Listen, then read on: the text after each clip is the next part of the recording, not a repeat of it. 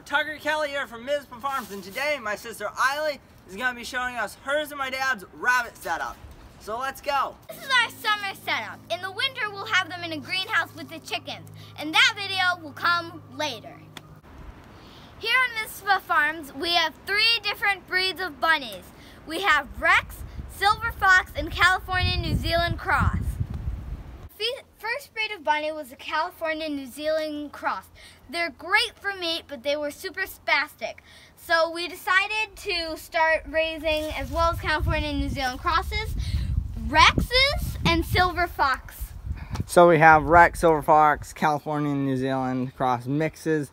They're good for meat, less spastic, and these days we sell most of them for pets, even though the original intention was for meat rabbits. Here on Mizpah Farms we have two main cages we use, but this is the main one we use for all the adults.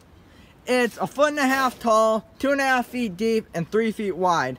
We use one inch mesh for most of it, the sides, and then the top and bottom we use half inch by one inch. That way, when one side gets worn out, we can flip it over, and they always have a good floor. We also will sometimes put a wire down to keep it from falling apart.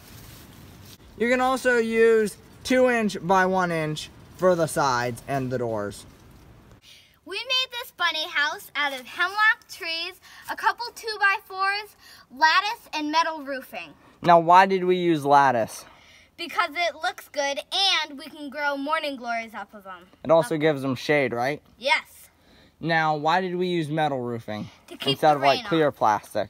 Well, clear plastic breaks easily, like when acorns fall on them.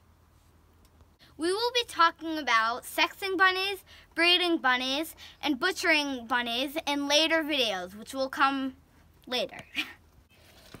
when our mama bunnies are close to having babies, we'll put one of these bunny boxes in. We made it out of flashing and leftover mesh.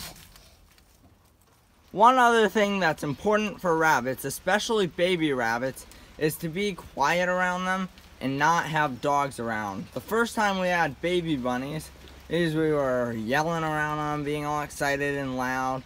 We had uh, my grandmother's dog came over, we were picking up the rabbits and putting it right near the dog so the dog could just say hi. And uh, a couple days later we started noticing we just had, you know, the rabbits started dying off, the babies, you know, one by one. And uh, then we Googled it and we realized that um, rabbits, you know, if they get really scared, they can like have like a little spasm type thing, like actually break their neck, and they'll be fine for a couple days, and they'll just start dying off. So just be careful of that as well. We also have these bunny hutches, which we are keeping our bucks in right now. Those are male rabbits. This is one we made, and the important thing we did is we put all the 2x4s on the outside. That way they don't get covered in poop. This one was different. We got this one from some friends. And this one, the cage is right on top of it and it gets all poopy and nasty. So yeah, this is what we like to use. We've got a metal roof on it, which is really nice.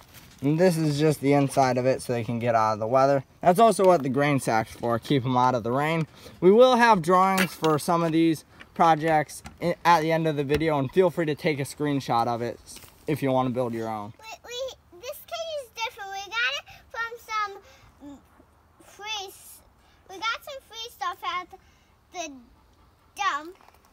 So that's how we made it?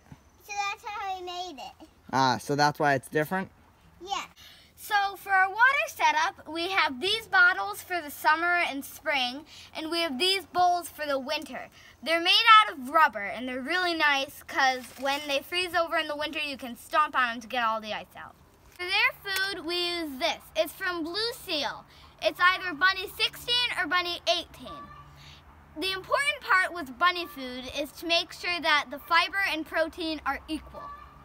For the rabbit's feeders, we just use normal rabbit feeders. Fill them up. It's nice to have a scooper down here. And for their hay, we have these nice hay racks, which Eiley doesn't like, but they work great and they will waste a lot less. As you can see, this one has a lot less hay compared to that one, which we've just been throwing the hay on the floor.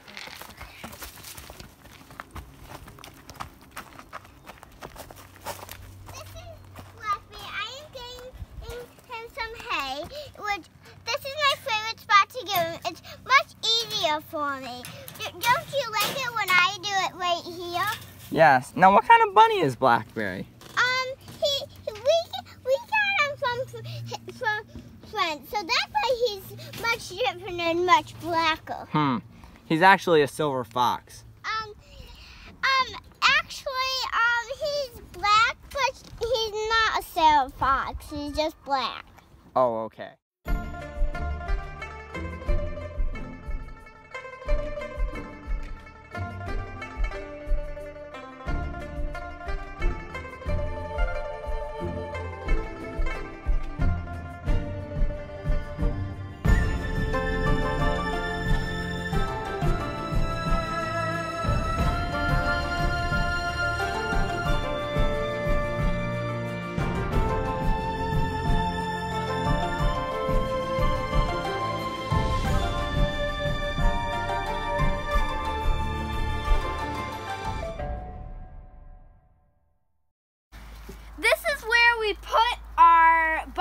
After we wean them at four weeks.